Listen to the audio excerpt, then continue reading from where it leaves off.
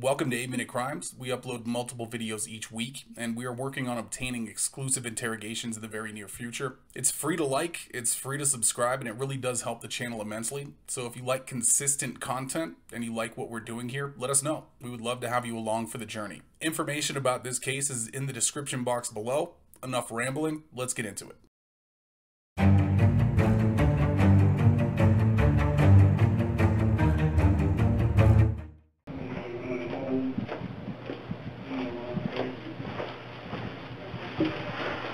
That's Betsy right there, if, if if okay with you.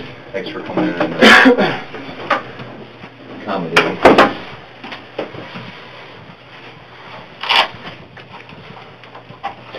Yes, sir. Yeah, here's mine as well. Okay, Sean, we just met briefly in the hallway, um, but I am Special Agent Dave Horniak with BCI. This is Special Agent Brent Kirkpatrick. We've just been assigned to look into the the Walmart shooting from the other night. You're aware of that, and that's why, why we're here together. Um, We've already talked with Officer, or sorry, sorry, Sergeant Darkow, and um, going to explain the same thing to you that we did with him. And I've spoken with, uh, with Mr. Pop about this next step as well. We're a criminal investigation agency. We've been called in by your department to act as an independent investigating entity to determine the facts of what happened the other night. Um, As a part of that, the, uh, due to the unfortunate death of, uh, of the subject, the, um, there is, as a potential for this criminal investigation, we always, as a matter of protocol, read Miranda rights to the, to people in your position, as being one of the officers that was involved. Okay, so, um, we want to, we do it for a couple of reasons. One is this is not an internal investigation. It's a criminal investigation, um, but not necessarily pointed at anything right now. We are, um, uh, going to read you this and ask you to sign it. Do you have any issue with doing that? No. Okay. And are you here voluntarily? Yes. Okay, you realize you're free to, free to go from our standpoint if you want to go? Yes. Okay. Okay, Sean, uh, I know you're familiar with this, but we, we typically read it as well as look at it, and it's going to be a couple of parts here, so I'm going to read it to you out loud. Um, Before we ask you any questions, you must understand your rights. You do have the right to remain silent. Anything you say can be used against you in court or other proceedings. You have the right to talk to a lawyer before advice, before we ask you any questions, and to have him with you during questioning. If you can't afford a lawyer, won't be appointed for you before any questioning if you wish. If you decide to answer questions now without a lawyer present, you will still have the right to stop the questioning at any time. You also have the right to stop the questioning at any time until you talk to a lawyer. We realize your lawyer's here, but uh, understand all that? Yes. Okay. If you would, please sign, date, and put the, I'm sorry, uh, sign date and put the time right there.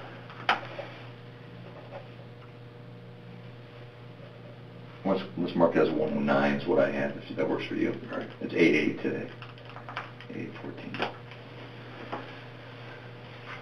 Okay, and then one more part. This is the waiver of rights. Um, So this would be you, you, this will say that you have read this statement of your rights, it has been read to you, you understand what your rights are, you're willing to make a statement, and answer questions, you don't want a lawyer at this time, uh, you understand and know what you're doing, no promises or threats have been made to you, and no pressure or coercion of any kind has been used against you. You hereby voluntarily and intentionally waive your rights and are willing to make a statement and answer questions. Yes. Okay, if you agree to that, do the same, and at the same time, we'll work, Sean.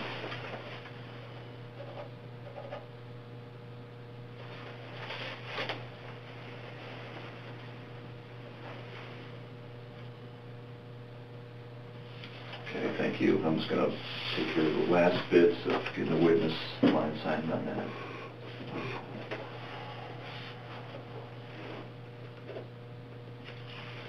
You mind again, sir?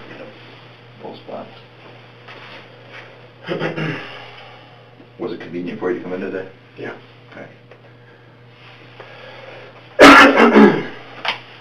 Sean, the reason my computer's up here is we're going to show you uh, some video from the store. We're going to talk a little bit first, show you some video from the store. We're going to listen to the radio traffic again, see if that helps jar your memory about anything. Not that it necessarily needs it, but uh, to get us on the same track of what we're listening to and seeing. Mhm. Okay? Um, Sean, um, is your full name Sean Williams? Um, yes. Okay, how do you spell your first name? S-E-A-N, Okay, what's your rank, sir? patrolman, Patrolman. What's your badge number? 90. Okay, is that also the radio sign you use? call sign? Yeah. How many years you been with Beaver Creek? Um, nine. Okay. Has has your, um, what's the extent of your law enforcement experience? Um, I got hired on March, um, here at Beavercreek. Okay, so all nine years of law enforcement's Yeah. been here? Yeah. Okay. Okay. We're gonna have a lot of questions for you. Um, trying to do a thorough investigation for, and we're just here to gather the facts. Like I said, we don't make determinations about what occurred. We gather the facts from all types of sources, you being uh, a primary source of the information we're gonna have. And we present that to the prosecutor's office for, for their review. That's, that's the way it is. Any this goes, I know if you've been involved in, in these types of things before, we'll get to that as well. Um, What we would like to start, if it's good with you, is, again, we're going back to the Tuesday the 5th, the evening at Walmart. Um, We want you to start wherever you feel is appropriate about your initial knowledge of what was going on at Walmart that night, and just tell the whole thing through. We'll try to interrupt you not too much at first, and then we're going to keep rolling back a little bit. Does that work for you? Yeah. Okay, so Tuesday night, that's a good starting point. I'll Yep. start wherever you like. Um, I was, um, that particular evening, I was doing paperwork behind Walmart, um, when the tone dropped on the radio. But, um, and I, because you were, you, you were already there before you got a call, you were at the Walmart? Correct. Why, why'd you happen to be there? Um, I had just, uh, taken a crash report at the BW3s, um, right across the way, and sometimes I go by in Walmart, 'cause nobody usually goes back there, just to kind of sit and do paperwork, and, Okay, um, don't usually get bothered back there. good enough. Sorry go ahead. That's great. So, um, the tone drops on my radio signaling an emergency um, from dispatch, and they dispatched two units. Um, they just, I forget which units exactly they were. Um, uh, they just dropped a tone and stated two units on the radio, then they kind of hesitated on the radio, um, so I didn't know exactly what was going on at first. So I brought up my computer, brought up the call screen, double-clicked the call, and saw that it was at 3360 Pentagon. And I'm like, okay, I'm right here. Mhm. So um, I just immediately started heading towards the, around the side towards BP, towards the front of Walmart, and that's when um, dispatch started giving, um, um, started explaining what the call was about. Mhm. Um, they dispatched two units and stated um, that there was a subject with a gun inside Walmart. Um, they stated that he was waving the gun around, um, that he was pointing it at people, and that it was a rifle type weapon, Mhm. and that he was loading it. Um, at the time, the dispatch, he was loading it, is what dispatch said. Um, so I arrived on scene, um, and based on the fact that it was a rifle and that he was pointing at people, winging around, and loading it, um, I deployed my rifle. I pulled to the front of the store, got out, called out that I was on scene, and uh, I pulled out my rifle, and my goal at that time was to wait for the next unit to arrive, and we were going to um, um, go in, basically. Mhm. So, so I arrived on scene. I parked um, by the easternmost entrance doors, um, kind of by the um, food area. Okay. Um, because that's like the, the closest doors there were. Mhm. So I parked there, and then we got that he was in the pet area, which was in the opposite side of the store Mhm. from where I was parked. By that time, I could see a unit coming down Pentagon Boulevard, another car. So I just ran to the other side to where he parked, and ended up being um, Sergeant Darkow. So as I ran up to him with my rifle, he was in his trunk getting his tactical vest on and getting his rifle as well. Um, as I waited for him to get ready, um, um, dispatch said that the caller still had an eye on him, um, and that he was in the pet section. Um, and then I confirmed with dispatch before we went in. I confirmed with them. I asked if he was in fact pointing the rifle at people, Mhm. and uh, they confirmed yes that he was Mhm. pointing the rifle at people. So, um, based on everything we knew at that time, um, um, Sergeant and I were just going to go straight to the suspect. Um, at that point, we were going to go in through the, um, the, um, the garden center doors, Mhm. but it was like barricaded by big metal, like gate fence. So we couldn't, we couldn't gain entry through there, which would have been like the closest entrance to the Mhm. pet area. So we went one entrance to the east, which was closer to like the pharmacy. Mhm. Um, and um, I, we were right outside the door, and we kind of gave each other a nod that we were going in, and then uh, we made entry into the uh, into Walmart. Um, we walked straight in, and immediately it, it was the, store was very very crowded. Um, um, as we made our way towards the the pet area, I mean there are families everywhere, kids walking around. Um, there's people all over the place crowding the main the main um, drag. Um, I don't know how to explain it, like the main um, hallway area, I guess, separating the different uh, departments. Um, it was very, very crowded. So we're passing people, kind of scanning both directions as we're heading back towards the pet area, um, just to see if we could um, find the person. I guess I should um, rewind for a second. They said it was a black male um, that, that had the rifle. So um, as we were walking, like at that time, the, particular area we were in, it didn't seem like anybody was too alarmed at that point. Um, uh, just in the bulk of the, the middle, right outside the pharmacy, people seemed to be acting normal. Mhm. Um, so I even asked, I asked one person just at random if he had seen anybody with a gun walking around, and he said no. Um, so we just kept clearing the, the road as quickly as possible as we headed back towards the pet area. So we um, reach the pet area, which I think is like three or four aisles in the in the far um, um, southwest corner of the store. Um, we um, so we carefully start scanning that because the last report was he back there.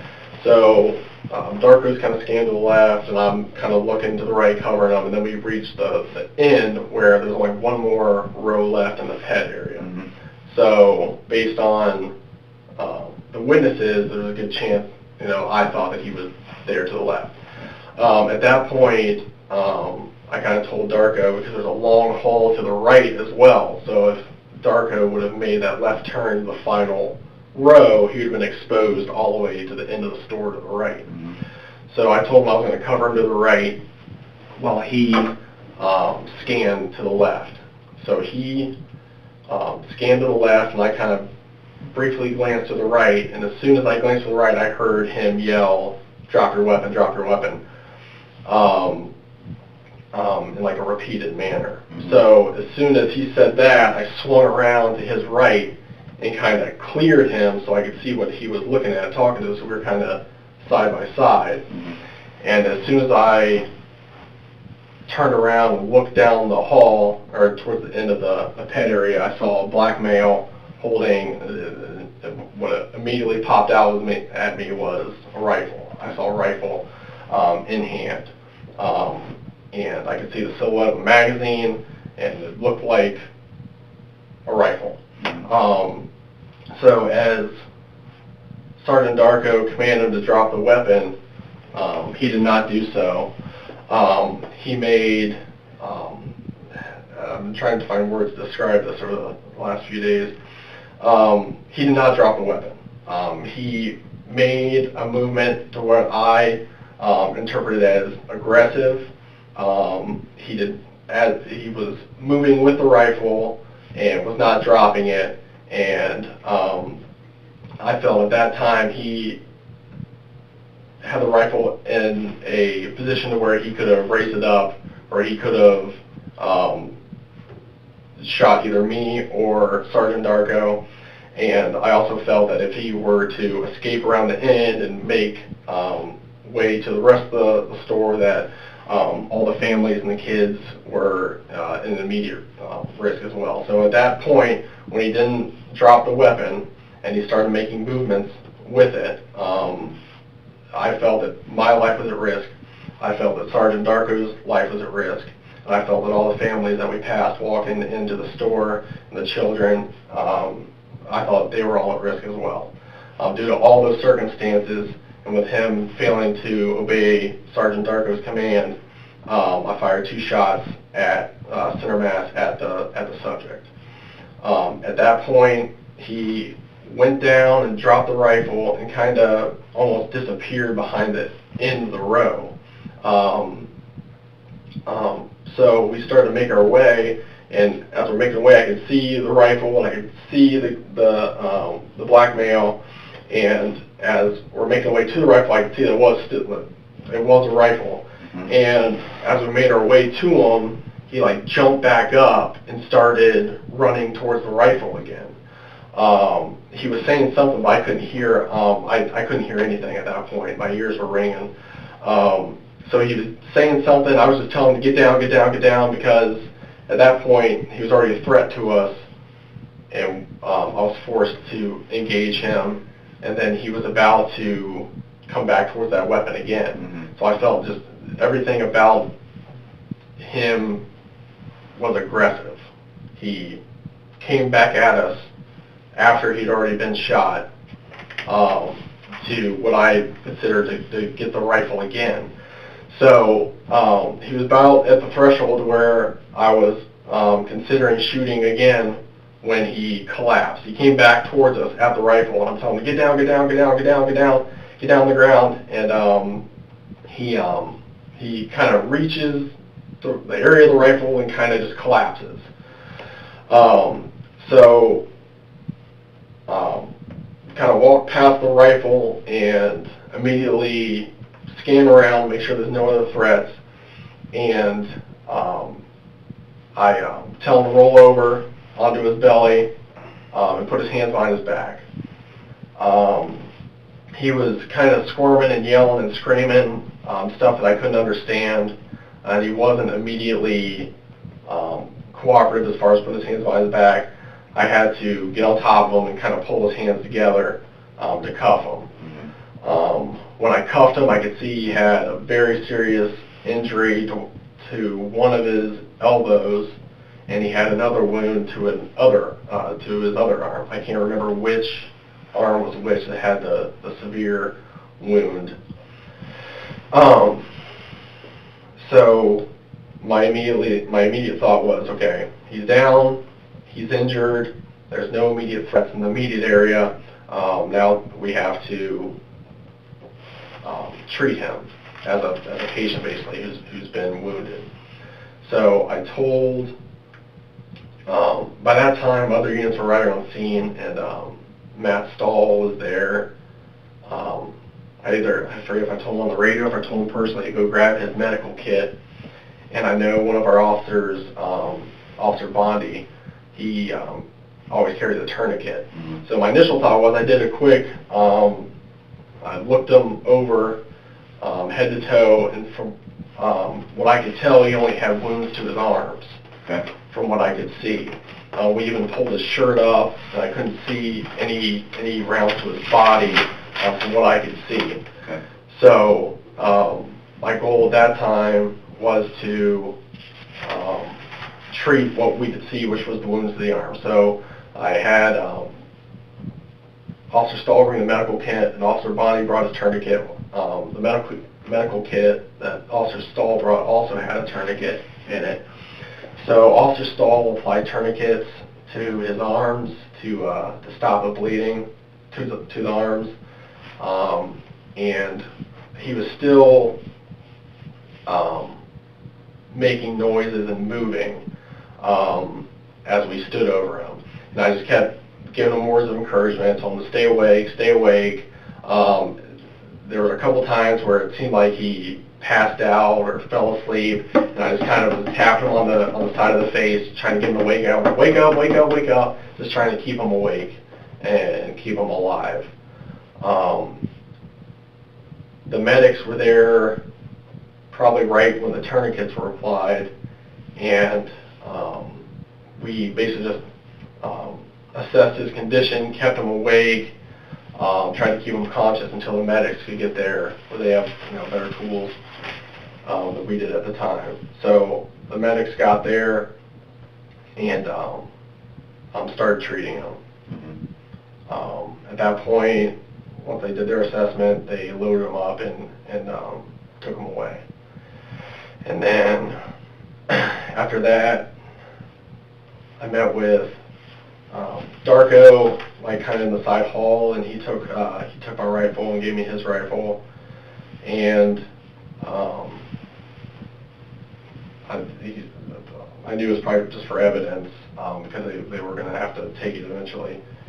So he took my rifle and gave me his. I eventually gave his rifle to Officer Stahl, and then I made my way outside and uh, met Officer Darkow outside the doors, and we just kind of um, stood there until we were given further directions. Okay. Sean, were you injured at all during that entire incident? No. Okay. Um, We'll go back through slowly, and uh, someone's going to jump around when we ask questions, so I know it's tough to to talk about and sit through it. If you need a break at any time through this, just let us know. Okay. Um, Were you on, were you on regular duty that night? What's your duty shift? Um, it's 11 a.m. to 11 p.m. Okay. So you were nearing the end of your shift. Uh, um, What what time approximately were you in the Walmart parking lot? I, I probably got there some paperwork around like 7:45. Okay. 7:45. Okay. And do you recall, just from, I know, I know a lot of information has come out even in the media, I'm not sure if you paid attention, but about the times and so forth, do you recall approximately the time the call came in? Yeah, it was around 18:20, I believe. Okay. Um, 1820 would be 6:20 PM, so. I'm sorry, I'm sorry. Yeah. 2020. It, it's, yeah, military time gets me a lot too, but especially in something like this. Sorry. So about 8:20 PM. Correct. Okay, and that is during the course of your normal duty shift, so you had about three hours left on duty that night? Yeah. Okay. Okay, and Sean, are you on administrative leave right now from the department? Um, that's what the chief told me about, um, that I was. Okay, okay. And did they, uh, did he say to you that that's part of what typically just occurs in a situ, that's what the department does in a situation like this? Yes. Okay. Any officer involved in a shooting just typically goes on administrative leave? Mhm. Okay. Um, I'll, I'll start near the, near the beginning there. You were already in the Walmart parking lot, you said the tone came in for a call to that Walmart, and you said you, you worked your way around to the front, is that Mhm. accurate? Did you walk around or you drove around? I drove around. Okay. Since you're already there, did you activate your lights and sirens? No. Okay. Did the others need to at that point? No. Okay. Um, Is it accurate that the cruiser cameras, do you have a cruiser camera in your vehicle? Yes. Okay. Is it accurate that those are only activated by two means? One is to activate the lights and sirens, and the camera comes on. The other option is to do it manually. Yes. Okay. Since you didn't activate your lights and sirens, you didn't have the cruiser camera on, um, and you did not activate the cruiser camera manually either, correct? I did not. Okay.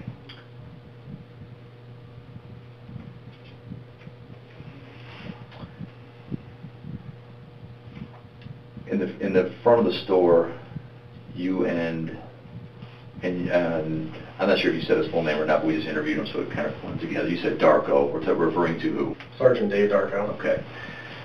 He was the only other officer on scene at the time, at the Correct. immediate time? Yes. Okay. And you engaged him, you guys met up at, uh, it sounded like the trunk of his vehicle? Mhm. Okay. And do you recall speaking to him about what was your conversation? Um, If you, if you had any at that time, was your conversation? the only thing we really said was, um, we, we didn't really have an extended conversation. He was gearing up Mhm. and we made our way to the door. Dispatch was continually um, giving us information. So um, while he was standing there, that's when I confirmed with dispatch if he was pointing the, the rifle at people, Mhm. and they said yes. And then we we just uh, just based on training, we just knew what we were going to do. We are just going to go straight to the threat. So we kind of said, "Are you ready?" And he said, "Let's go." That's it. Just Okay. went in the front. Okay. Uh, you guys can't get into one entrance, you go to another one, you get inside, and are, do you recall, um, either you or, your- or our Sergeant Darkow giving any instructions to customers in the store? Um, I do recall, I, I think he told, a few people right in the beginning to get it. Like I think there's there's some people standing around looking at us like, what the heck's going on? And he told them just to just to leave. Okay. Um, um, so I, I, that's the only time I recall him Okay. telling anyone, I believe. What, what are you looking for at that point as you're entering the store? What's, what's your, what's your thought? Um, my thought is that we have to, based on the, the calls, um, and the situation and what information was given to us, we had a threat in the store. Um, and there was a threat to everyone in the store. And we're trained to go immediately, as quickly and as possible Mhm. to that threat. Okay. So our goal was to go to where we knew the threat was while still carefully making sure he wasn't in the crowd. Gotcha. Um, so our goal was to just move as quickly and efficiently as possible to the threat. Okay. And you, s- you mentioned training. What kind of training have you had in that regard? Um, well, two weeks ago we had um, we had a active shooter training, Okay. and we went through scenarios exactly like this, where there's people with weapons, um, people that were that were actively shooting, and then people that just had weapons in in in, um, in an occupied building. And in that training, we're told to go straight um, to go straight to the threat, bypassing people um, and um, and containing it Mhm. as best as possible. And that's what, that's how you would describe what you did on Yes. that response? Okay. Yes. And so you felt like the training that you even just recently had was relevant to this, this exact situation? Yes. Okay. Have you had, um, and uh, it sounds like active shooter training, I'm not sure if you just responded that way or Yeah. not. It- Have you had that type of training before? Yeah, we have it. We have it usually once a year. Okay. Um, And again, that training specifically tells you as the first responding officer, there's a, if there is a threat or an identified threat, you go directly to the threat, is that what you're saying? Correct. Okay. And you and Tech, um, Sergeant Darkow didn't need to discuss that, you felt like you both have been trained on this enough, you're seasoned officers, you're going in the door and and looking for the threat? Yes, that's what we did. You don't, you don't recall specifically yourself discussing anything with, uh, giving commands to customers, but you did recall at one point, um, asking, did you say you asked a customer or, or? Sorry? Did you say you asked a customer or something at one point, or? Oh, I did ask. Associate? Um, when we first walked in, there were just people everywhere, and some some of them didn't. I mean, just the one guy asked. He didn't seem too alarmed or anything, so just kind of asked like some one of the first people I saw. I'm like, "Have you seen anyone with a gun?" Mhm. He said no. Okay. Um, so that, that's pretty much the only person I asked. And Okay. then we were starting to focus Okay, yeah. um, on that um, on that particular direction and area of the pet area. What were you, what what were you, um, what was your uniform that night?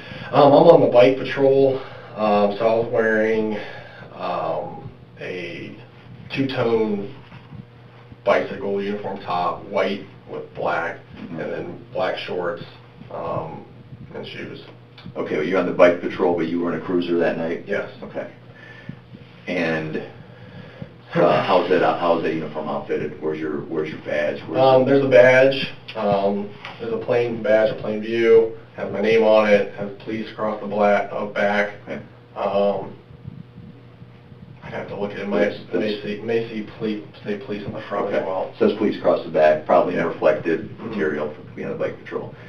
The, uh, um, officer, I'm sorry, Sergeant Darkow, um, you said he got some things out of his trunk when you were staging to get in there. What was he getting out of the trunk again? Um, he was putting on, when I ran up to his cruiser, he was putting on a tactical vest, Okay. um, which we can carry, um, it says police on it, you can carry extra magazines and, and anything else, uh, Yeah. that you need to carry in an active shooter type scenario. Just putting that on, and he had his rifle, and getting his rifle out. What kind of rifle does he have, if you recall? Um, he has a, we're only allowed to carry an AR-15 style Okay. rifle. Okay. And that's what he had, to your best, best your recollection? Yes. Okay. Did you have a tactical vest yourself? No, Okay. Did you, you not assigned one? I didn't, I don't have one. Okay. So it's just you in the uniform, it's, is it mostly white, the top mostly white? The or- top's mostly white. Okay. Um, Sean, do you recall, um, either of you identifying yourselves as police at any point during that response? Um, I don't recall that being said. Okay. Um, would you, were you basing that on, is that something you would normally do? Uh, Um, it depends on the, the speed of, of, of what's going on. I mean, um,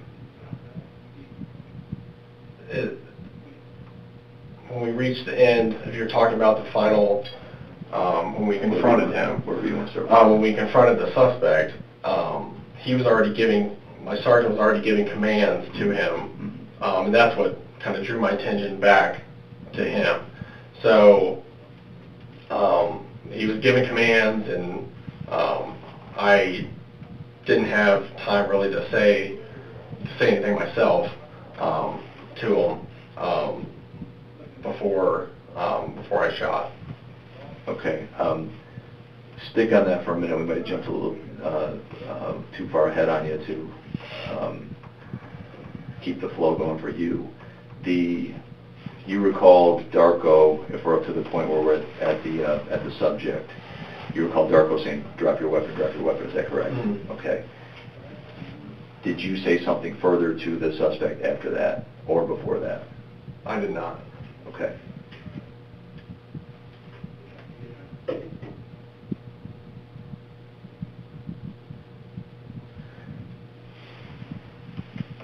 Going back to, um, going back to your training for a minute, Sean, the, uh, what additional training have you had? Um, law enforcement, nine years, you have a lot of training in law enforcement. What, what additional specialized training and like tactical training have you had, if any? I've been to, um, it's called FAST 1 and FAST 2. It's a tactical firearms self-defense class OSP. Uh, I've been to both of those classes. It's an advanced tactical type course. Okay. Um, I've been to, um, um,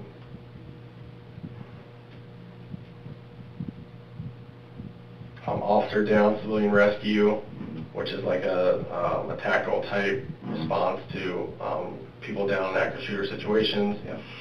I've been, I'd have to look at my file. I've also been, the last year I went to advanced tactical weapons school, Mhm. um, where, um, you learn, uh, how to shoot various types of weapons, how to respond to different types of, um, scenarios, um, kind of, um, Okay. makes you a better, sh- you know, a better shot and, um, helps you make better decisions under stress and whatnot. Um, So you've had additional tactical training, and um, how how often would you say you get any type of training? Every, would you say every, every year, every few months? Probably, I probably, um, as far as extra training like that, I'd probably get, go once or twice a year. Okay. But that's outside of our shooting training that we do to like qualify with our weapons and whatnot. Okay, very good. And and on that, um, are you qualified on the weapon that you fired that night? Yes. Okay, what is this specific weapon? It is an AR-15 uh, rifle. Mhm. Um, it is not, um, issued by the police department. Mhm. It was my personal rifle. Okay. We are allowed to carry our personal rifles, Mhm. um, as long as they're an AR-15 style, Mhm. um, rifle, and as long as the, um, our weapons instructors, um, check them for safety, Mhm. and that we qualify with them. And once we do all that, then we have to get the weapon approved by the chief, Mhm. and he'll sign off on it, and then we're allowed to carry them on duty. Okay. And how, how long have you been qualified with that weapon with the Department of Naval to carry it, Um, approximately? probably four years. Okay.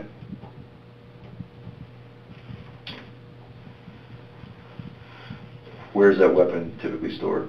In, in your, when, do you have a vehicle every night?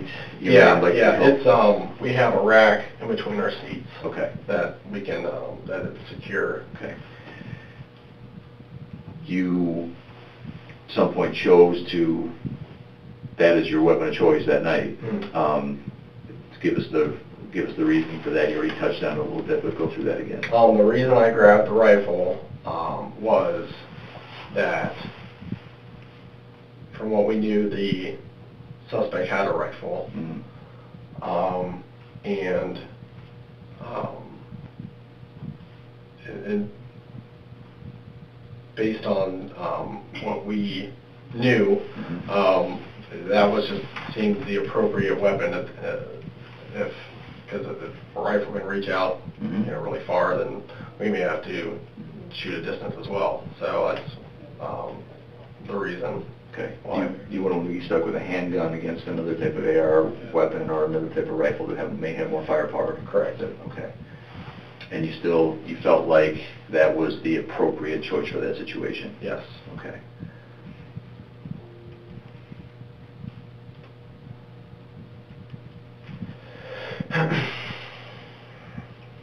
Sean, I know you guys, um, the department had you take a toxicology test and uh, urine sample took from you, and we got, we have those results, but uh, can you verify for us for this interview, were you drinking at all that night? No. Okay. Um, Were you using any type of drugs? No. Okay. Did you, do you- did you feel you were reasonably well rested that night? Yes. Okay. Um, Lighting in the store, how would you, how would you describe that? Well lit. Well would, okay.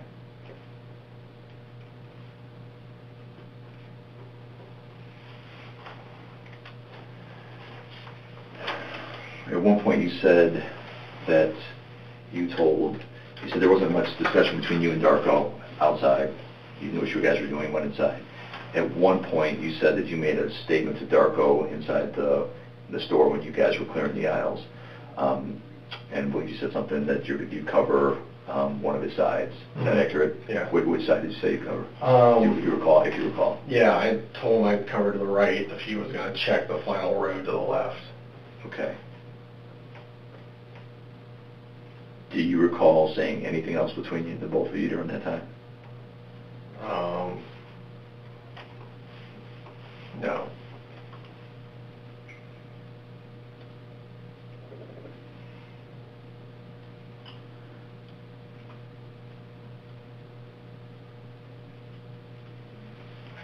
Were you familiar with that Walmart? Yes. Okay. So you knew where the Pets area was? Yes. Okay.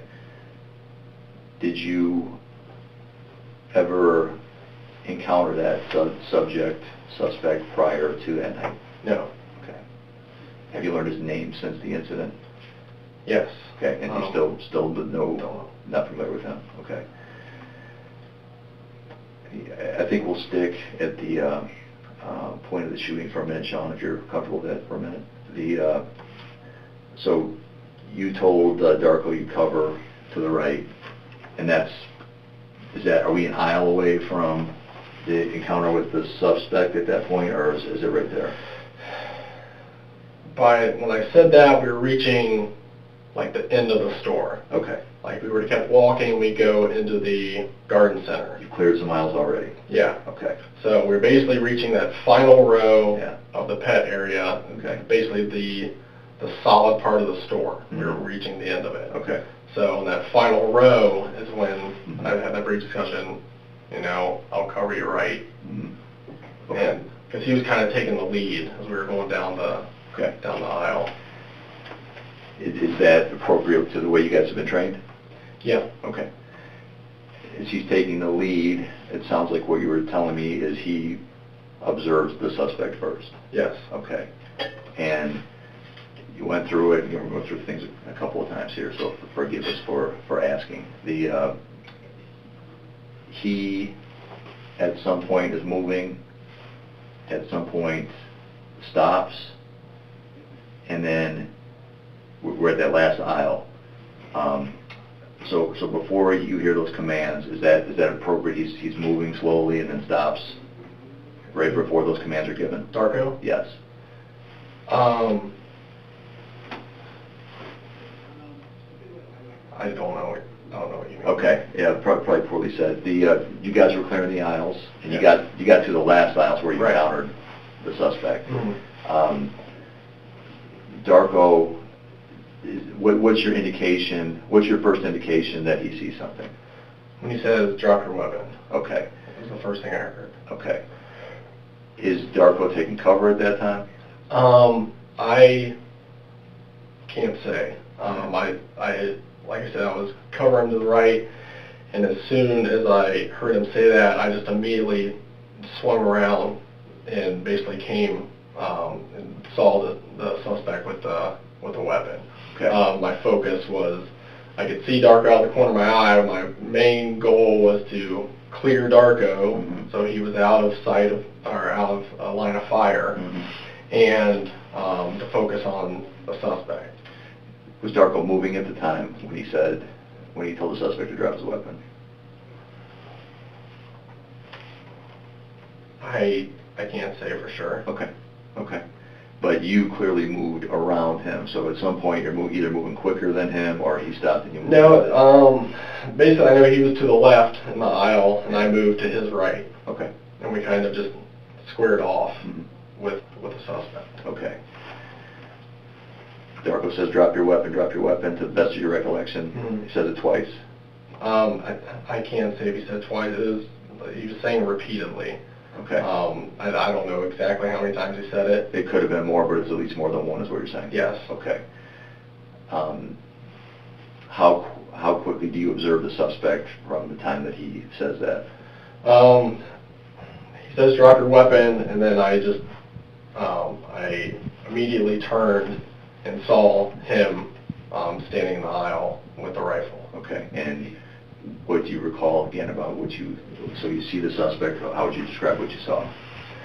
Um, I saw him standing there, um, and like I said before, I see him and I see the rifle.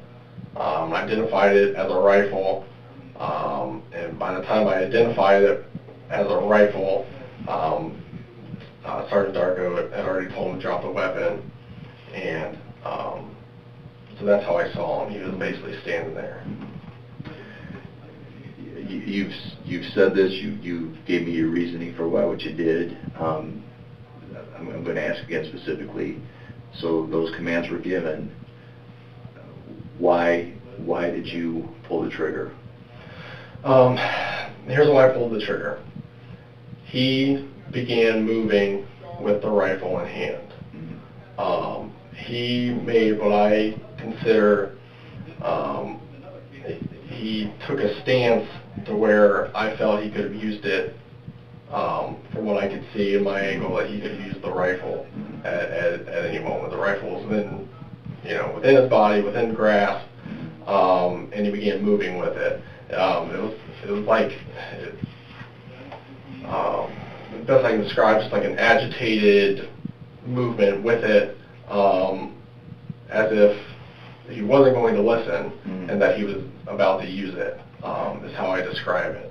Um, so, um, based on that, I'm just identifying him and the rifle and and and um, the backdrop and and making sure you know there's no other people around and and um, and I felt quite certain at that point that um, when he wasn't um, listening to us, Mhm. that he was going to harm people with that rifle. The call came in as what again? When the initial call came in, what details did you have from dispatch? I had detailed that black male had a rifle in the store. Mhm. He was waving it around, um, pointing it at people, um, and he was loading it in the corner of the store. Okay. Is that a common call that you encounter as an officer? No, I've never um, taken a call like that before. Okay. Um, Did, um, did that, does that cause a heightened sense of alert within you when you get a call like that? Yes. And that's my initial thought before we went in. Uh, what I was thinking to myself was, this is Walmart. They sell weapons. They sell real guns. They sell fake guns. Um, we've had calls before at similar stores like Dick's where people have been like returning weapons Mhm. or had purchased a weapon where we've gotten a call, Mm. um, but it wasn't as serious. It was a person just walking Mhm. with a gun Mhm. out of a store. It wasn't somebody's waving it around, pointing it at people, and currently loading it. Mhm. Um, so this was very rare, unusual call, um, and um, with you know, with all this, with how busy Walmart is, and with the amount of people that have purchased items similar, Mhm. um, um, weapon style items in Walmart, we I have never taken a call like this before. Okay. Since, since the incident occurred, uh, there's been a lot of media on what occurred, and then we, we now know what the suspect was carrying at the time. Are you, are you aware at this point what the suspect was carrying? Yes. Okay. At any time during your response, did anybody indicate to you that he, the suspect had anything other than an active working firearm that fired, fired actual bullets? I didn't, there was no other word that it was anything but a rifle. Okay. And during your walk through Walmart, did you have any other indication from anyone else outside of dispatch or anything that this, this may be a pellet gun as opposed to a, a firearm that fires bullets? No. Okay. Having seen, um, when you first observed the firearm, did anything that you saw, or the weapon, indicate to you there was anything other than an active firearm? No.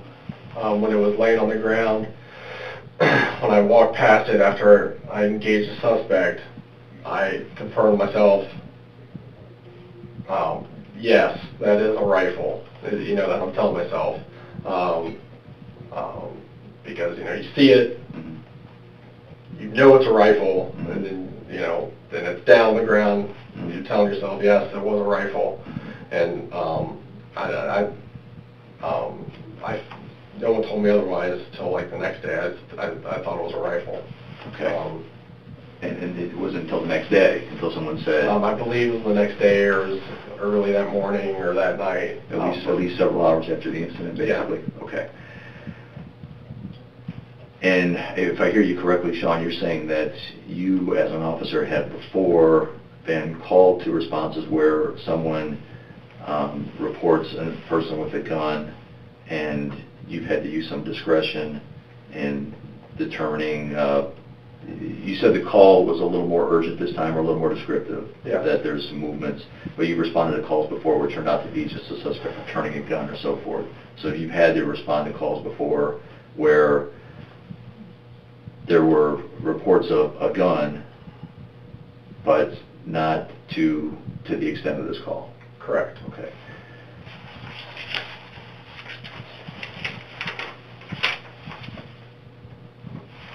Sean, when you're in the store and Darkow had made those commands, is it accurate where you're telling me that you're saying that the suspect did not immediately comply? Correct. Okay.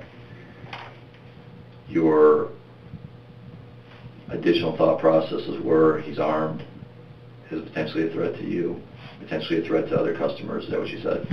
And, and Sergeant Darkow, yes. And Sergeant Darkow as well, okay. Did you also specify that he had what you thought could be a potential escape route from beyond your, your, your guys' hold on that, that section of the aisle where you could get back to the store and harm Yes. others? Okay, and are we hearing you accurately that that added to your decision that you felt deadly force was necessary? Yes. Okay. Sean, you fired how many shots? Two. Okay. Is that consistent with your training? Yes. Okay. Um, Now that we've had a couple of days, uh, coming up on three days to, to reflect on everything, are the actions that you and Darkow took in that store consistent with the training you had that, that um, this, this, this scenario would be based upon? Yes. Okay. When the suspect is down, when you fire, I should say, suspect will go down pretty quickly? Yes. Okay. And, Yes. Okay, and then he, he does get back up. Um, are you aware at that time that where the weapon is after you fired? His weapon? Yes. Okay, and where was it? It was on the ground between me and him. Okay. Suspect gets back up. Is that accurate? Yes. Okay. Are you moving toward him at the time after the shots are fired? Yes. Okay. He gets back up, and did you, am I correct in saying you said it was an aggressive fashion, or that your perception was that it was aggressive fashion? Yes. Okay. He's moving toward you at that point? He's moving towards the gun, like he's looking down at it, like like Okay. he's about to reach for it. Okay. Um, Would you say that in that moment, you had the opportunity to fire if you chose to? Yes. Okay. And again, you- you've talked this through. Tell us again why you didn't fire point. I didn't fire the second time um, because he didn't quite get there to the weapon. Um, he, um, and that, that's the reason why. Um, I was yelling at him, yelling at him to get down on the ground, and um, he just stopped short and collapsed. Okay. So, again, you, you thought at the moment the threat was at least momentarily, even for how split of a second, it was neutralized unless you made a two that gun or got a little closer to where uh, you may not be able to recover.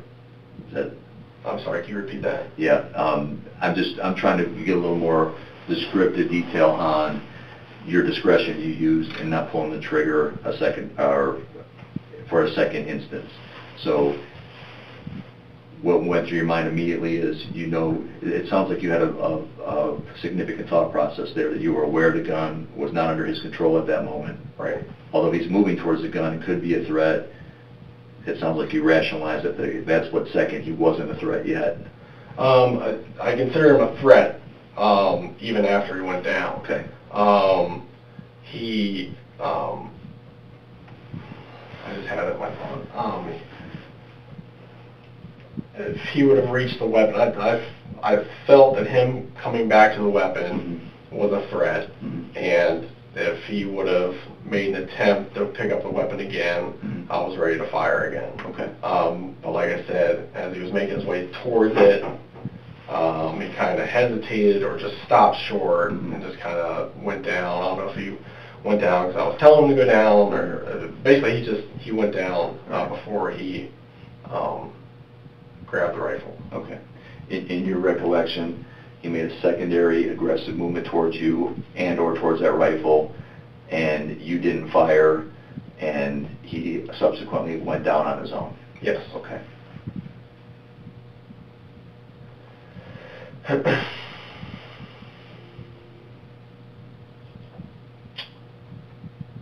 He went down, and you said that you had to, um, what was your direction to him after he was down then?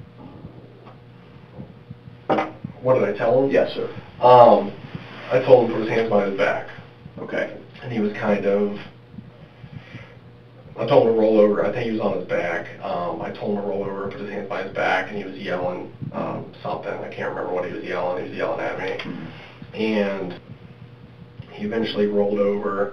And I told him to put his hands behind his back, and um, he eventually put his hands out to his sides or down to the side, but I had to manually pull his hands together um, to get him cuffed. Okay. And you cuffed him when I shot? um, because that's what we're trained to do uh, in those situations. Um, he is still potentially a threat to people around him. We don't know if he has any more weapons on him. Um, so we cuff him for his safety and our safety. Okay. Do you recall at, um, do you recall the suspect saying anything, um, before the shots were fired? No. Okay. Do you recall the suspect saying anything during or immediately after the shots were fired? Um, nothing that I could understand. Um, he was yelling um, something. Um, when he was coming back towards the rifle, I could see him saying something. I, could, I couldn't understand it, and I, my ears were ringing, so I couldn't quite hear what he was saying.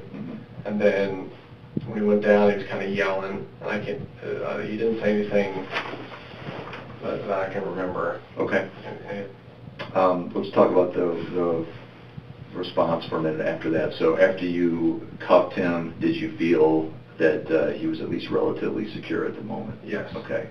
And then what were your next actions? Our next actions, we secured the suspect, kind of checked around, make sure there are no more threats, nothing dangerous around, and then our priority is his condition. Um, so, I believe Darkow called for a medic, um, and I um, kind of quickly assessed him, and I told um, Officer Stahl, who was on scene at that point, that we needed a medical kit um, due to the wounds to his arms. Um, I felt that um, loss of blood was, a, was, an issue. Uh, we're trained how to um, apply tourniquets. Um, so I had Officer Bondi and um, Officer Stahl um, bring tourniquets, and I believe Officer Stahl applied both of them to his arms to try and stop the bleeding as much as possible. And at that point, um, th- those were the only um, injuries I could see um, at that at that time. So we um, kind of just kept them awake as best we could, um, and waited for the medics um, to get there. Okay, so you were actively engaged in trying to attend to the suspect's medical needs? Yes. Okay. Sean, did you make a verbal statement um, about this incident to the police department? Yes. After the incident? Okay. And uh, we're not done yet, unfortunately, but is there anything at this point that, in the, in the time you've had in between that statement, that, and from what you can recall, is there anything that, that critically you would change to that verbal statement? Um, no, I mean, that initial statement, to me, it seemed like it was just a, almost like a brief summary of what happened is what they wanted, so I gave Okay. a brief summary. Do you still feel it's accurate today, is what I'm saying? Okay.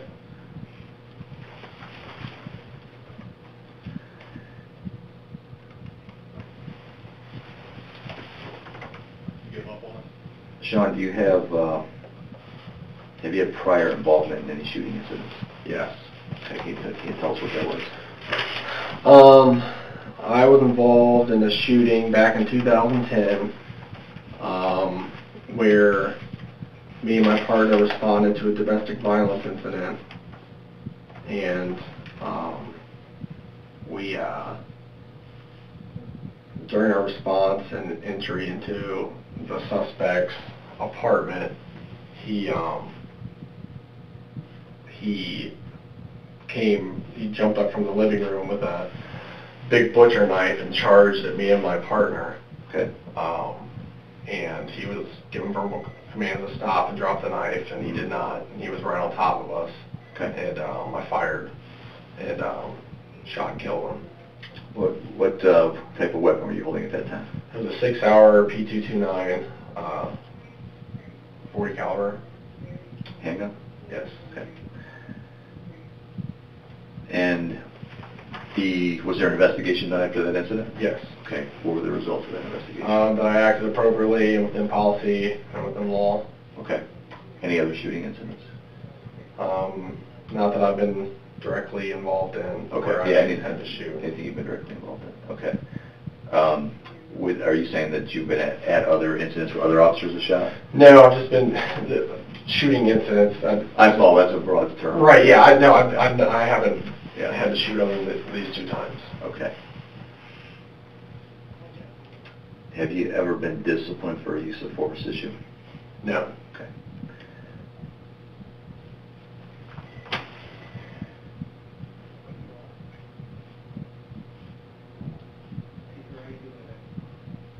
Sean, you're being very thorough, and I, I appreciate that. Um, and you know how this is being an officer, that a lot of times, you know, certain people remember different details, um, one way or another. Um, if Sergeant Darkow were to have recalled that after he gave commands to the subject, that you gave a subsequent command to the subject, either something along the lines of get down or put it down, um, you said you don't recall making any commands yourself at this point. At this point, I, Okay. I can't. Okay. Is it um, out of the realm of possibility that is, that Darkow may just um, be remembering it that way? Do you think maybe you're just not forgetting? Is it, is it, can Um, you, can you, can you close it out one way or the other, 100%, or can, or can you not? I can't close it out 100%. Okay, thank you. And there's still things that are foggy and, um, Absolutely. where I can, you know, one day I'll see things crystal clear, and the next day everything's foggy. It's just, um, so I, I don't remember. Okay. I don't remember saying anything. Have you given, given, given the opportunity to speak with anybody about the, about the shooting, um, counsel or anything like that? Yeah, I'm scared. You don't have to, you don't have to comment on that? No, it's fine. But yes, I have. Okay.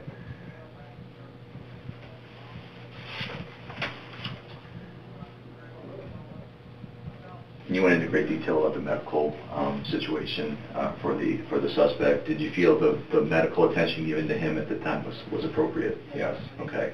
And you went into detail in saying that you personally um, tried to um, keep him alert and awake. Is is that because you felt he was lapsing into unconsciousness and Yes. result in something? Okay. Um, Other officers responded shortly thereafter you? Is, is there anything you saw that you would consider inappropriate actions done by anybody for this incident? No. Do you believe everybody acted professionally? Yes. Do you believe that everybody in the department that arrived, whether from your department or others, I believe there's multiple jurisdictions, do you believe everybody that um, was close enough made every attempt to save that suspect's life? Yes. Okay. Sean, are you aware that uh, there were other medical issues going on in the, in the store, either Yes. raised around there shortly thereafter? Can you tell us about those real quick? Yeah, the scene quickly became very chaotic, um, even more so because as soon as the suspect was down, we were getting reports of, just from what I could hear, is people um, going down with um, various health issues. Mhm. Um, and um, I believe, I don't know which officer, they were, from what I could hear on the radio, I was more focused on the suspect, but from what, from what I can hear on the radio, they were trying to get an AED to one of the people who went down. I don't know who it was, I don't know what their emergency was, Okay. um, but uh, we were getting several reports that people were having medical emergencies throughout the store. Okay. Did you have direct involvement in the, in the attention to any of those? No. Okay, so you're just hearing that over the radio and Yeah. through other, through other means? Okay, you doing all right still so far? Yeah. Okay. Um, What we're gonna move into in a minute here is listen to some radio traffic and helping you identify what's going on there, see if that uh, triggers anything different. Their discussion, we'll watch a little bit of video, but Brent's gonna have some questions for you right now next. Okay. Yeah, if you don't mind, Sean. Um, I'm going to ask you a few follow-up questions, and it's just because I've been writing notes while you've been talking. Um, I'm not trying to scrutinize anything by the questions that I'm asking, it's just I'm unclear about something and want to make sure I've got it right in my mind, okay? Um, and first one's easy. Um, what, what platoon are you on? The name of the platoon? Yeah, do you have like, is it a number? Yeah? I, uh, I think, I think it's one. I, I really don't, I really Okay. don't know. But you Because I'm on work like from- a swing shift, so Okay. I'm like my own, And do you, re- do you report to a certain supervisor? yeah. Okay, who do you report to? Well, at that particular time, it was Sergeant Darkow. Um, Okay, so at the time of the incident, you were reporting to Sergeant Darkow? Yes. Okay, And his platoon is platoon four. okay. And do you split supervisors? I know you work from 11A and 11P, and I know Sergeant Darkow works from 7P to 7A, correct? Yeah, first, my su- first supervisor is Sergeant Molnar, and I'm with him from 11 to 7. Okay, so, so since you're on swing shifts, you have supervisors that change throughout your shift? Mhm. Okay. And how long have you, how long have you worked on that particular swing shift? Um, it's been, I think a year.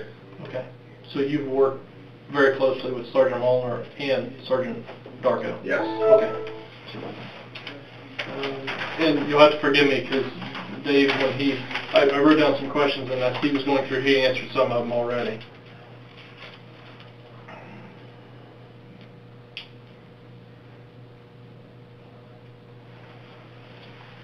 When the commands were given by Sergeant Darkow.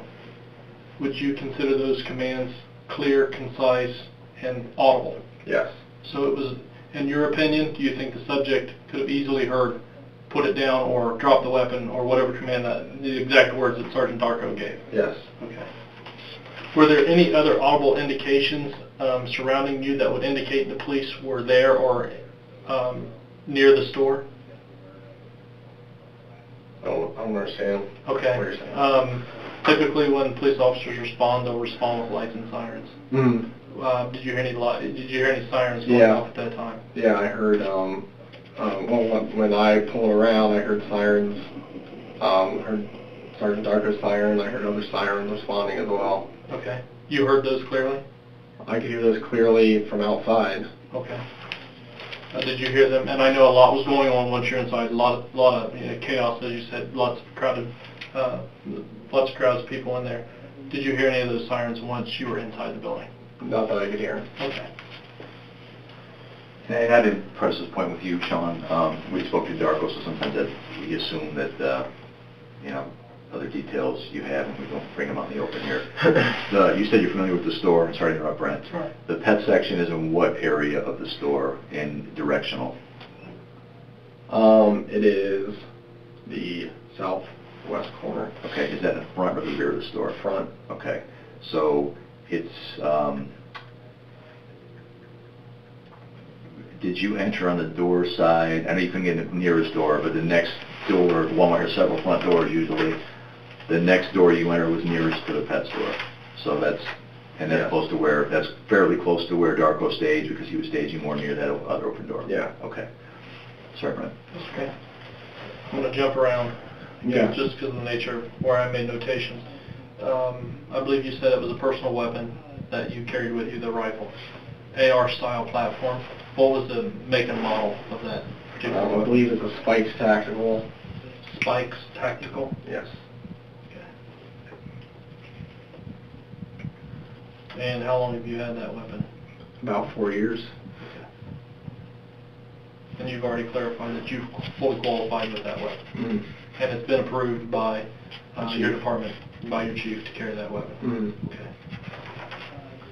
Um, we also went into uh, extent what type of training you have, Fast 1, Fast 2, Officer Down, Civilian Rescue Training, Advanced Tactical Weapons School. Um, are those, will all those be reflected in your personnel or training records? Um, they should be, yeah. Okay. Have you ever had a chance to review your personnel or personnel record or your training record? Um, well, I keep copies of all my training certificates. Okay, so you have copies of all that? Yeah. Okay, great. Um,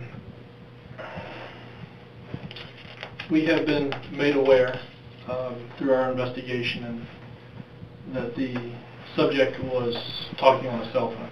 At any point did you notice that the individual was on the cell phone? No. Okay.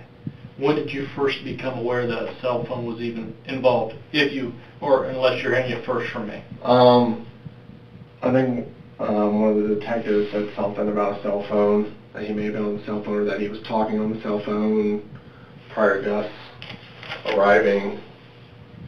Um, but I didn't see him on the cell phone. Okay, so. Maybe when you say detectives, you're saying after the incident? Yeah. I told you that? Yeah. Okay. Um, Did you make any physical observations of the subject, either before and after um, the incident? Did he appear intoxicated? Did he appear to be on drugs? Anything that gave you either, you know, a visual um, or, a, you know, Um, there was nothing that I saw that would indicate he was on drugs Okay. or under the influence of anything. I couldn't tell. Okay. And I know you got very close to him after, you know, you were rendering first aid to the individual. I didn't know if you made any observations as to those types of conditions when you were rendering first aid. No. Okay. And I'm not sure if we specified if something I missed when we were talking about it, but I know when you're rendering first aid, you apply tourniquets. Um, I'd say we, um, Officer Stahl, I'd, I would consider a team effort, but um, I was just kind of walking. We were, I was just helping Officer Stahl apply them. He was he had rubber gloves on, was putting them on. I don't, I don't know if we clarified where those tourniquets were placed. they were placed on his upper arms. Okay. Can you go into the extent of the injuries and why you thought the tourniquets were necessary? Um, he had one severe wound to one of his elbows. I forget which elbow to where like it was like there was nothing there. Like it was completely gone. Um, so I knew that was a very serious, potentially critical injury. Um, so um, and then he had a wound to his other arm as well. So um, with um, with those types of injuries, you know, stopping the blood as soon as possible is critical to survival. So um, I decided to try and get tourniquets on as soon as possible, try and stop the bleeding. Okay. Very good. Uh, That's all I've got, if you want to. Okay. Um, how you, how you doing? You need a drink or something? Okay. Uh, fairly quick here, we'll listen to the rate of traffic. Um, what we want you to do, you don't have to identify, um, every little thing for us. We want you to identify to yourself. If, um, things pop up, you want to say, hey, that's, that's him, that's this. Anything that triggers a memory, we'll probably stop asking questions through it. Um, we're gonna start at, uh, 2022. And that's, uh, should be the first call on that. Ready? Mm-hmm. Twenty twenty-two.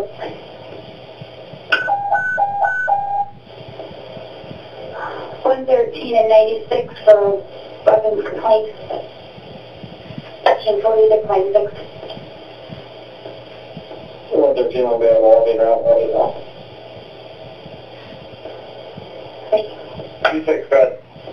Thirty-three sixty Pentagon Boulevard, Walmart, a black male, six foot, wearing a blue shirt, blue pants, in the back section, holding a gun, pointing.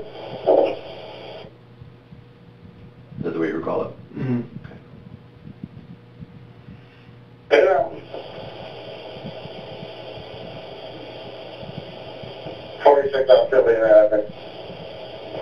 Twenty twenty-three.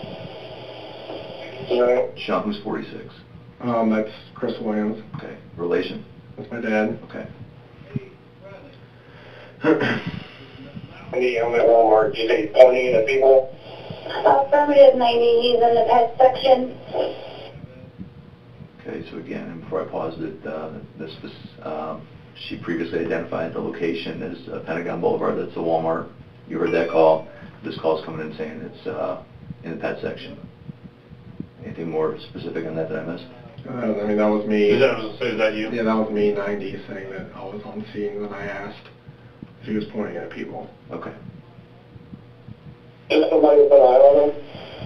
Affirmative, I have a gentleman who's watching him, so he's waving it around, believes it's a rifle, believes he just put some bullets inside.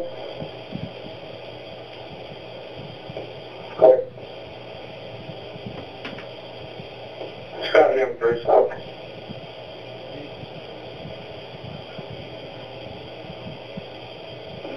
Ninety, they're advising he's in the black back corner of test.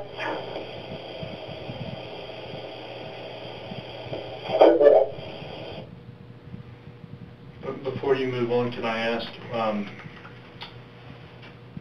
what was your mindset or your reason for asking for confirmation about um, him waving the rifle? Um, I just wanted,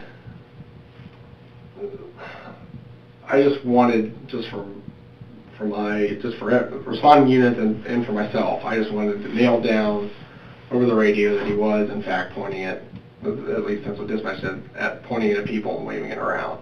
I just wanted to be certain that that was the case, um, before we get entry. Okay, does that elevate the situation in your Yes. mind? Okay, very good. And if we heard on that longer transmission, that's where they identified rifle, um, waving it around, which you clarified, and loading it. Yes. Okay.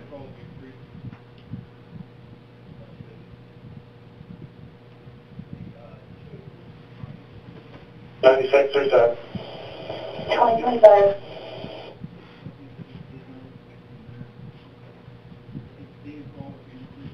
Forty-six or seven. Twenty twenty-six. Eight thirteen, myself, one seventeen, three thousand. Twenty twenty-six.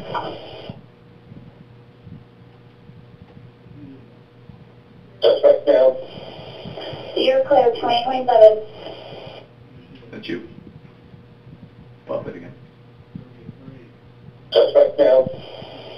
You're clear, 2027. Not sure. I can't tell. Okay. You don't specifically recall it being you at this point?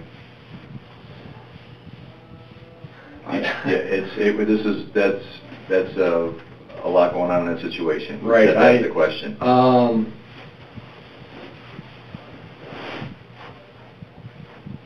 I can't, I can't tell if that's me Okay, not. okay, Sean. Um, okay, so that went pretty quick from kind of, uh, like I said, the traffic goes from, from one thing to the next there really quick. Um, This is still 2027, this is an additional file. Hey, which corner of the store? Shots fired on the back. Store in ambulance. You're clear, 2027.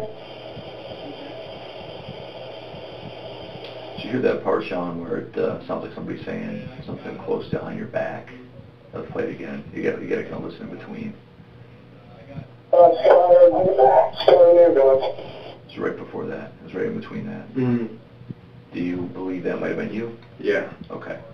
I'll put one more time, just so we get the gist. Store ambulance. Well, no, I'm not.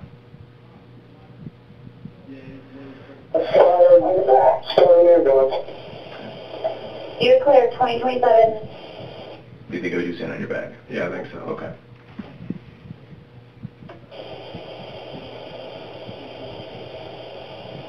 Seven sixty, seventy-one contact, forty-seven forty.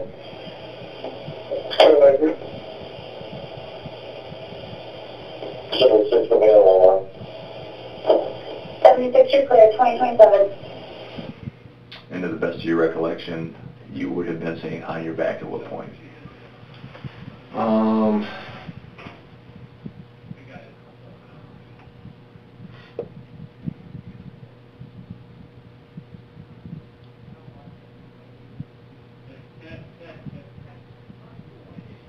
I think, um, I was probably saying put your hands behind your back.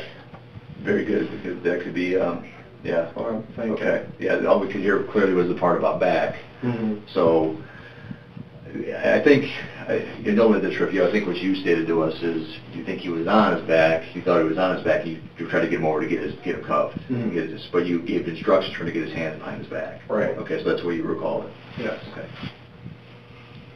But in any case, you don't recall any time giving him instructions to get on his back that's counter to the way you remember it? Correct.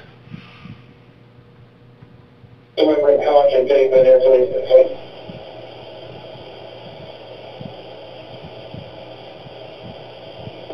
Come on in. Forty-six, we started a medic up there. Affirmative, medics are around, so. Big flags outside needs to bring some caution tape in here, please. Okay. We're almost done. These look like a... Yeah, it's a long agenda. Okay. 2029. 70 vehicle tax. You're clear, 2029.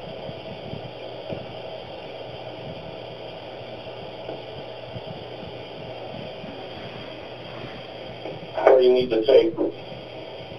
Back there in the pet section, uh, first aid kit too, somebody has one.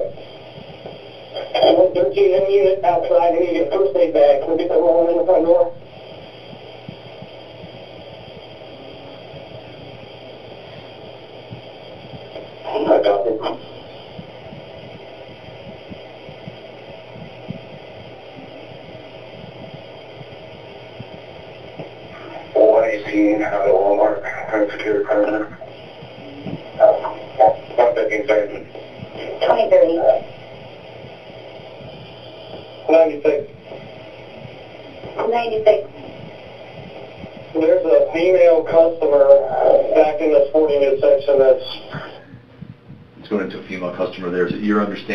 So so we've heard it calls for an ambulance, at least one call, get a medic back here. Is it Mhm. your understanding that uh, those calls are for which instance? For our, uh, for the suspect. The down suspect that's been shot? Yes. Okay. So everything medical up to this point where we hear there's a down female or a I can't remember what they specifically said, but, uh, is, everything prior to that point is for the suspect? Mhm. Okay. Back in the sporting goods section, that's, Ninety-six. There's a female customer uh, back in the sporting goods section that's having a medical emergency. I need an additional medic for her, little female. You're clear. A couple more, so. Ninety, ninety, ninety. Go ahead. You have your tourniquet, Nick? It's out in the, in my cruiser. Do you think that is asking for the tourniquet? I was asking ninety-six. Okay. It'd be this tourniquet. All right, so back it up a little bit. And again, specify tourniquet for what? For his arm injuries. And him being the suspect? Mm. Okay. You have your tourniquet, Nick? It's out in the, in my cruiser. We're good, we can do it. Seventy. Good. Medics are requesting come aid. Come in if they need a stage. They need to come in, they need to come to the far left back area. Well, you're clear. The twenty thirty-one. Any more, Brent, that you think you need? No, I wanted to make sure that we got the tourniquet in there. Um, the last thing we have, we've got a couple more questions going through, but the last thing is to look at the video and see what happened. Want to see if it, um, if that alters anything that you recall or if it triggers any other, other information. Do you want to take a quick break? No, it's fine, it's just, Roll through? Okay. And we won't overplay this, we'll actually let you determine how many times we run through it. I'm gonna turn this, you, and actually it took, uh, this is a weird program that doesn't stay staged. I think what I'm gonna do, like we tried before to run, we can pull video from, uh, we got the video of the suspect down the aisle from this location. This is the garden center. mm, You guys will actually be coming up from here. Okay, is that look familiar? Mhm. Okay. So I'm close to where you guys come in now, it's, uh, gotta be another minute, if I can see that line there.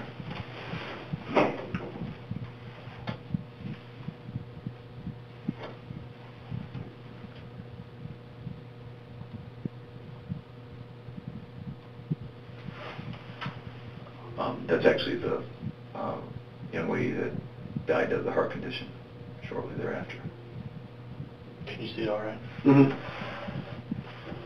Put it however you want, I want you to see it, it's not Yeah. worry about me.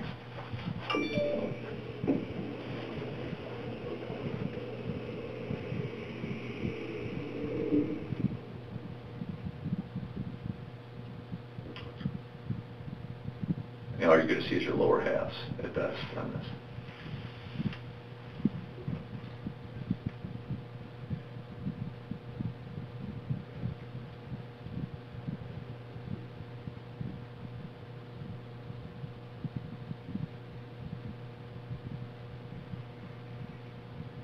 The rest is just response right there. Okay. Might we play one more time and ask a couple questions? Oh, go ahead. Doing all right? Yeah.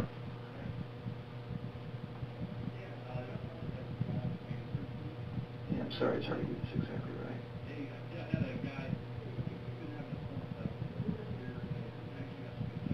Coming up on it here. Um, first legs, says legs we see, I believe are Darkow's, is that Mhm. accurate? Can you circle around him? Mm-hmm.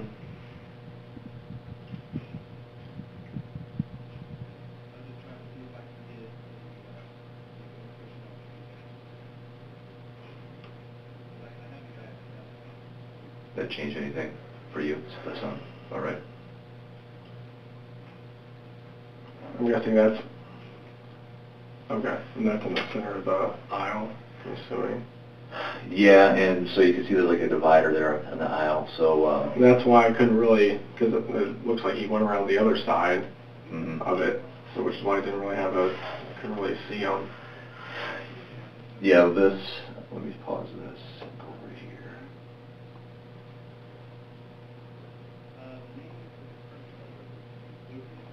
I gotta go through a whole kind of rigmarole here.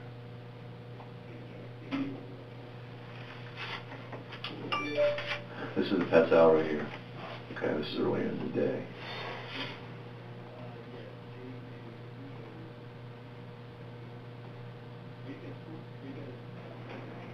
I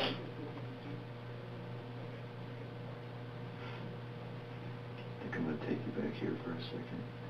Um, that other vantage point's over here. Does that make sense to you? Mhm. Okay, the layout's good. What's gonna happen in, uh,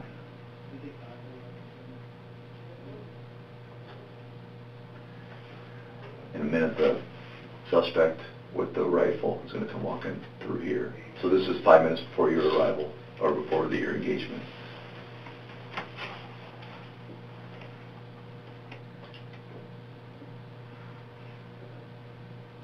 And to time frame it for you, about the time that we see the suspect, which is there. About the time we see him is about the same time as the 911 call where the guy's giving the detail about the rifle and the waving it around and so forth. Have you seen this video prior to now? No. Okay. I will gladly let you run through and watch the whole thing for five minutes, but I will, will tell you what happens is, there he was raising it up again. Um, This is the standpoint, this is the um, location where he stays for the next five minutes, roughly within a little five, ten foot area. Just kind of looking around and making movements with the rifle, and he's on the phone. And this is different from your vantage point in the store. We realize that this is up higher, it's to the right. You're coming from a lower level down to the left where you see him. Um, and you'd be blocked off somewhat by this, is that what I believe you're saying? Right, for your, your view until you pied it off or got around the Mhm. corner. Um, But that's where, that's where he remains, Okay. okay? Now, we're gonna, s- we're gonna go to the point where you engage him. Um, You won't see your cells on this video frame until he's down and you're gonna be walking forward on it. Um, Are you okay with me proceeding? Yeah, yeah. Okay.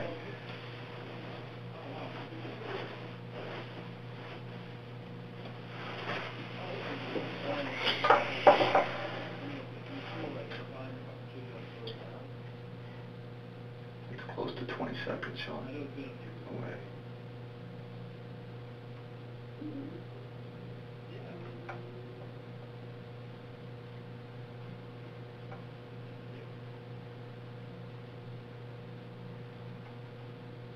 Oh, really? Oh, great. You remember what that was?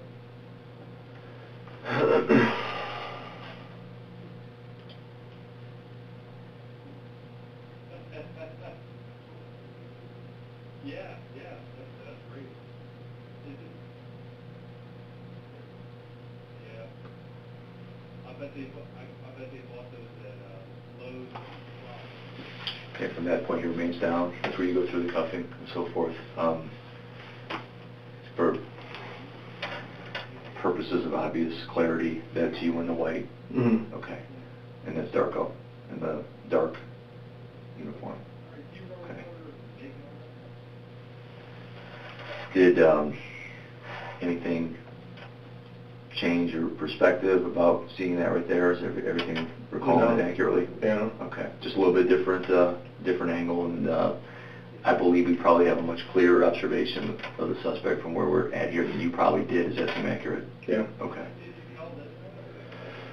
That's what you got. I know we don't have audio. Would you mind if we rewound it a little bit? Um, Yeah. I, I believe we can see a reflection of what is a muzzle flash, and I don't, I don't know if you can verify that based upon, um, your actions, but it looks like it reflects off the floor. You know the exact second so I can watch? It's gonna be around- 40, 50. 55, yeah. Is it 55? 45, to 40, 54 to 55, I'm sorry. You'll see him startle, then you'll see it. I'll watch the number for you when you get to 50, I'll count it down. It's 48, Forty-nine, fifty, one, two, three, four, five, six, seven, eight.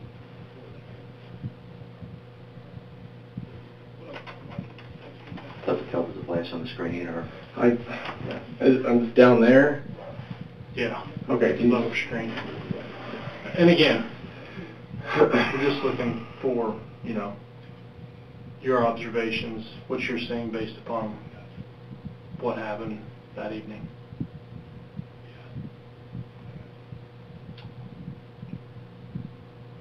Time sequence as I get it is about thirty seconds out. Okay, there's a spot fifteen seconds. Is that right there? It's somewhere, I believe, the lower part of the screen, yes, sir. Forty-nine, fifty, one, two, three, four, five. Do you see that flash? Maybe, it, What, what I see is, it's- I see it right here in the middle of the screen. And it's, it's, And it could be a glitch. it, it could just be like, it looks like an electronic glitch, but it doesn't mean it's, that, that's what the appearance is. Can we, is there a way you just like, there you like pause it when he turns towards us? Can I just look at that or? But it's hard to describe his actions, um, other than, I just like to see it. And again, as Dave pointed out, the camera angle is different than the angle you had, Right. obviously lower and farther to the left. And, and hold on, I'm gonna, Do the pause start real quick. yeah. Okay, that's at fifty-two. Of course, the controls are on the other side of me. How's the, how's the view for you right there? That's good. That's, when when does the shooting start? About one second That's, later. I mean, that's what I remember seeing right there. I remember seeing the silhouette of the magazine, like you can see right there. I remember seeing that it's a rifle. Um, I remember him standing there. So that's when, when I describe um, seeing the silhouette of the gun and seeing that it's a rifle. That's exactly what, I'm- what I'm talking about right there. In this, in this instance where we paused it, he's got the rifle at almost a 45 degree angle pointed outward, um, and not, not next to his body where he has been keeping it some of the time. Right. Okay. And from your vantage, did it appear as though the muzzle of that gun was coming towards your direction? Do you, do you recall? That, and that's, it, the motion was just all like one motion as he like swung towards us. So, I mean, it, Go for a quick second here, see if we can catch. Okay, so that was just the swing. And it's still less than a second on that pause. See, like right there, I mean, that's it. And that's, and that's what you see. I mean, I saw him bringing the rifle up. I saw him, that's the stance, an aggressive stance to where he was, could have easily, you know, shoot us or any of the people in the store. And that action right there and him starting to move with it Mhm. is, and it- I, It's at 8:26, 55 PM according to the Walmart surveillance camera. We Got him bent knees, um, an excitable stance at least, to say one way or the other, and rifles pointed about 35 degrees. Again, I'm gonna ask the same question. Did it appear to you that that rifle was coming up in your direction? that's what it looked like to me. Okay. Okay, and then he's, one second later, it's, uh, where he's going down. What more do you want to see? Um, can you just play it again Yeah? from there? Yeah. Or just play it from the beginning again? You want to go back before the Yeah, it's- thing? I don't mind pausing it again as much as you like. either. No, that's fine, just from there, it's fine.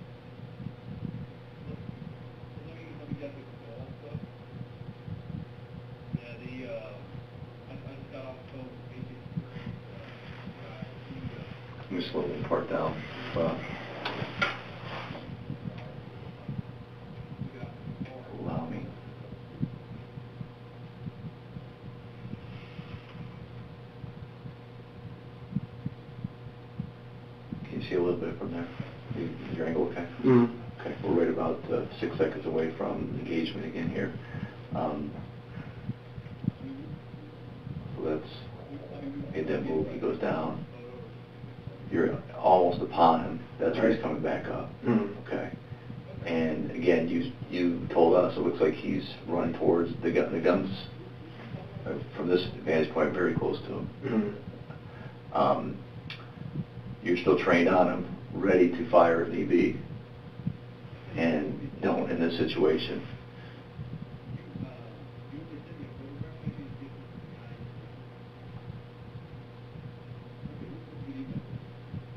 And then again, it looks like he makes a quick move to get back on the ground, going backwards. Mm. Okay. Felt at that time he was going for the gun? The second time? Yes, sir. Yeah. Yes, sir. Okay. Okay. Anything more you want to see again or listen to? No. Yeah.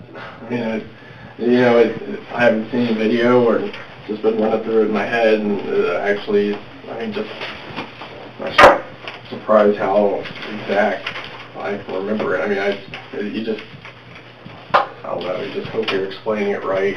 What Yeah. you saw was true and then this is real, this actually,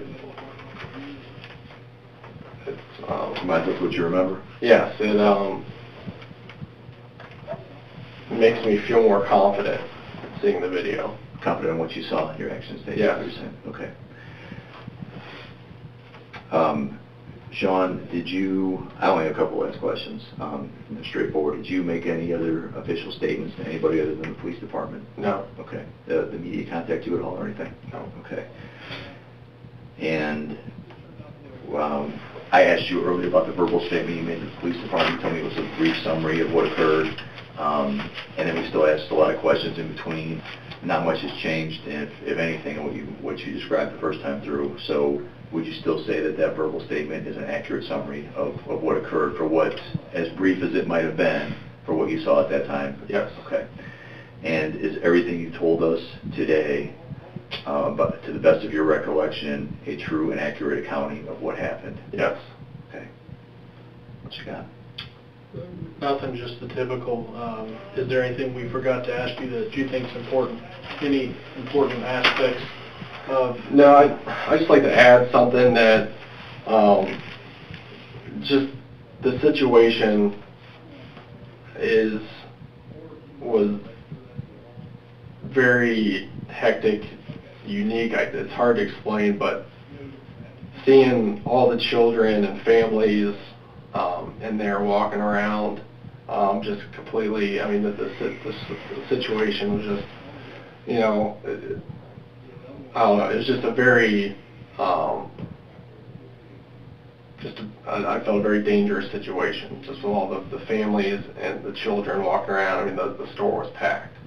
So it, it's just, I, I don't, that's just one thing that sticks out is, is seeing all the kids um, walking around. So, and, but I, I don't know. I, just wanted to make sure that it's known that the store was very, you know, it was crowded and there were kids there and families and Yeah, it's, you know, we, we have to be, uh, impartial here, look at the factual part of it, but it's, it's very reasonable to say there was a heightened sense of urgency on your part and, uh, a potential life or death situation is basically what you're saying. yes, And you've already stated that you, uh, had fear or concern for your own life, Darkow's life, and customers, including children. Mhm. And what you're, what you're adding to that is just, you want us to understand that's added into why you took the actions you took. yes. Okay. That's pretty much it. Okay. Oh, you said I can ask questions? Yes, sir. Um, are you guys in control of media? I'm not, not in control of media, I'm sorry. Are you guys in control of what you release to the media? Like what, um, when are they gonna, when is it, when is it gonna be released that I'm the one that fired? We are not, well, it's, it's a mixed question. We are, Brent and I work for BCI, which as part of the Attorney General's office. Mhm. Um, Right now, the prosecutor's office is, is really in control of everything overall. Mhm. Um, Our office works in conjunction with the prosecutor's office and with the, with the uh, police department need be. So what they're looking at is protection of the, of the evidence and it's being it's an open investigation, not getting something by harm the investigation. The bottom line is Brent and I don't make the call. Our bosses don't directly make the call. It's up to the entities of the Attorney General's office and the prosecutor's office mostly, of Okay. what's appropriate for the situation. And um, they make considerations for the police department, but, uh, you know, we are working outside of the police department. Is that Okay. a fair way to put it? Yeah, I, I mean, we're, we're working under the, the sunshine laws that we have to abide by, and we have been adamant that we don't want anything released regarding an open current investigation with an unnamed suspect. Mhm. Uh, so, that's, that's the way we're going to approach it. But as Dave said, um, those ultimate decision as to what is and isn't released, that's not our call, Okay, okay? Mm. all right. Hey, Sean, forgive me, um, you slowed us down, you gave me another question, um, and we may have covered this. I know we talked about the authenticity of the firearm, and you did, and your question about the media, brought it up because the Attorney General's office did release yesterday that he was carrying a pellet gun. Um, During the transmissions and the radio traffic and everything, that never came up that that uh, this gun was anything but a active working firearm, correct? Correct. Okay. And you didn't learn it until the next day or at least several hours after the incident? Correct. Right. And, and I know we discussed that again, I just, in our discussion with Darkow, and we covered that as well, I was blocking in my head. Anything else from anybody? Sir? Okay, and I don't know if we said at the beginning of the interview, but Vince Pop, your attorney, is with FOP attorney, and he's been in the room the entire time. Okay, we're going to call that at uh, 2:49 PM.